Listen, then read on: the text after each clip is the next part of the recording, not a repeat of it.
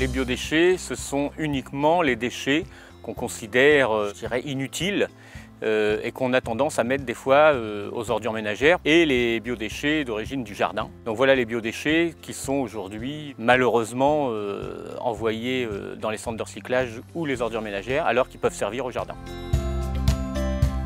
Le compost, c'est quelque chose qui est facile à réaliser. On va récupérer tout un tas de déchets ménagers, tous les déchets qui sont faits d'origine végétale. Ensuite, on va les mettre dans cet appareil qu'on appelle le composteur. On va les remuer, les mélanger entre eux, arroser et refermer le couvercle, ce qui va permettre d'obtenir une température assez élevée. Au bout d'un an, on est capable de récupérer son compost qu'on va mettre dans le jardin, qui est un amendement, quelque chose de très très riche, et puis qui peut servir à la fois à structurer le sol et surtout d'engrais.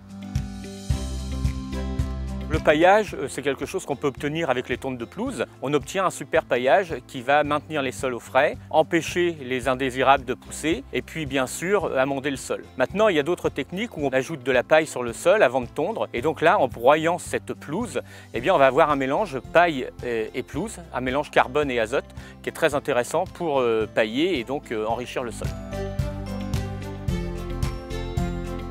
Avec un broyeur ou des fois en coupant les branches en petits morceaux, on peut réaliser son propre broyat et donc euh, pailler ses allées. Donc aujourd'hui, le fait de réutiliser ces déchets sur site, c'est un geste euh, important puisque ça va être réutilisé et donc euh, valorisé auprès des plantes.